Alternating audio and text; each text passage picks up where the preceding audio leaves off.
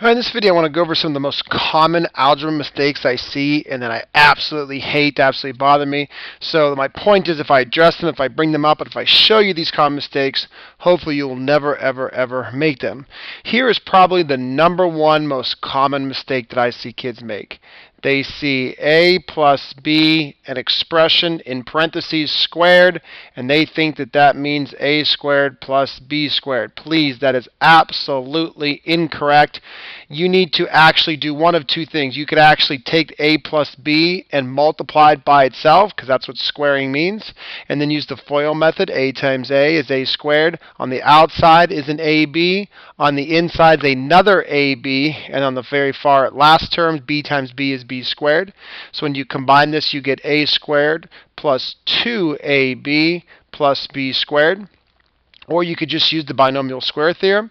The binomial square theorem is just simply a rule that allows you to remember this. It's just the first guy squared and the last guy squared. And then in the middle you just double these two values. So you just take a times b and then you just double it. So that's what you get. So you get 2ab so that's obviously how you get that same answer.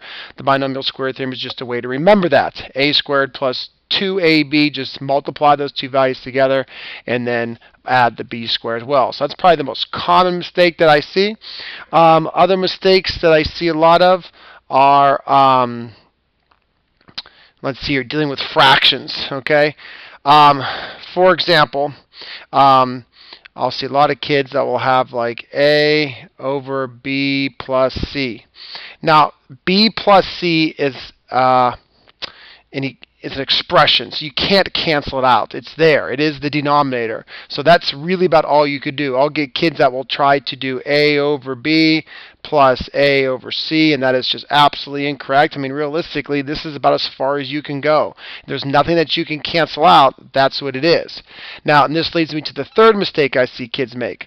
They'll do something like this. If they have 3x over x plus 2. They'll think, oh, I could cancel out these x's. Cancel out this x with this x, I'm left with 3 over 2. That's absolutely not true whatsoever. Remember, when you're working with fractions, the only way something can cancel is if the exact same expression in terms of a product, multiplication, is above it.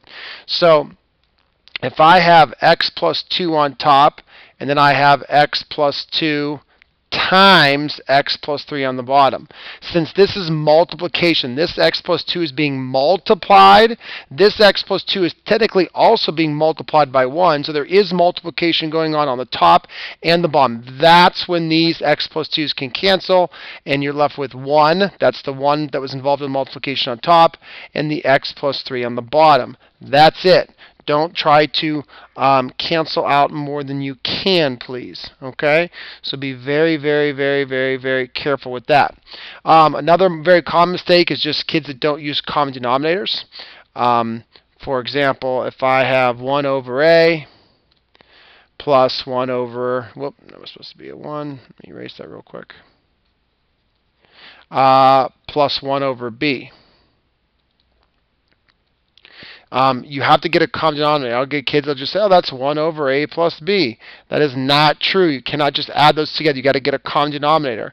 So you have to first say, okay, my common denominator would be a times b. a times b. This guy has the a, so I will multiply him by b to get that common denominator, but that means I got to multiply the top by b. 1 times b is b.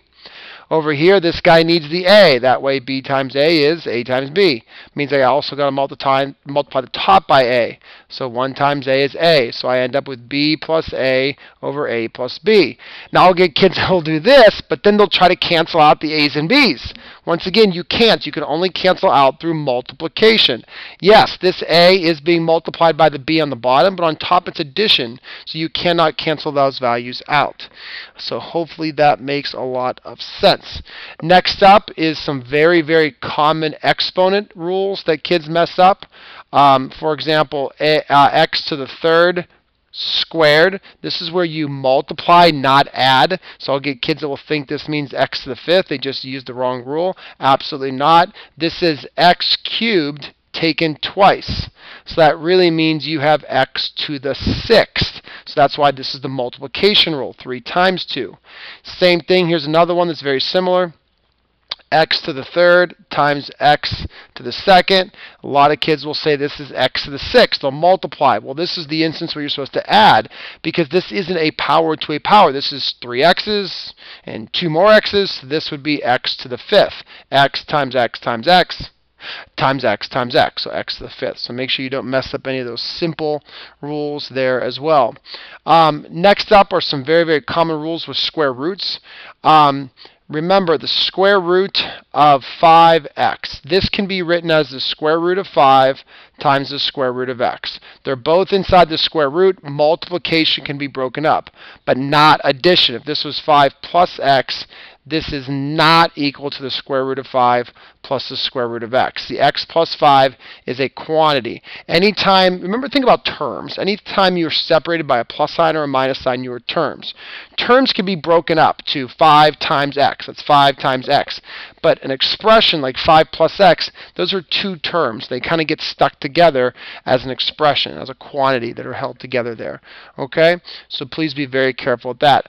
Other things to be careful of is be careful just on where parentheses are when you're dealing with exponents. For example, if I have 2x to the third, this means because of the parentheses that the 2 gets cubed and the x gets cubed. And that would be 2 times 2, which is 4, times 2 is 8. So this would be 8x cubed. Now, if I just have 2x cubed, no parentheses, this cubed is only on the x, not the 2. So that 2 stays, well, just 2. So please be very, very careful with that rule as well.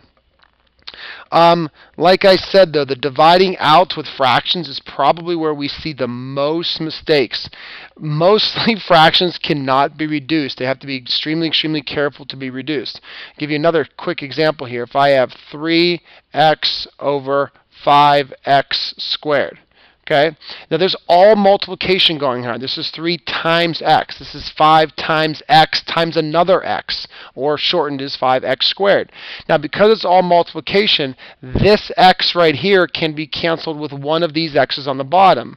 So it'd almost be written like this, 3x times 5x x. Now this x on top can cancel out with either of these x's on the bottom, leaving behind a final answer of 3 over 5x.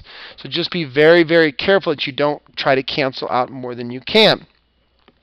Then kids, you know, kind of turn things over to fractions as well, and they think that these same rules can be applied. So for example, if I have a plus bx all divided by a, they say, oh, those a's can cancel.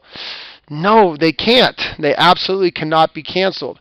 Um, you can cancel them only if you break this down. So if you break this down to a over a plus bx over a.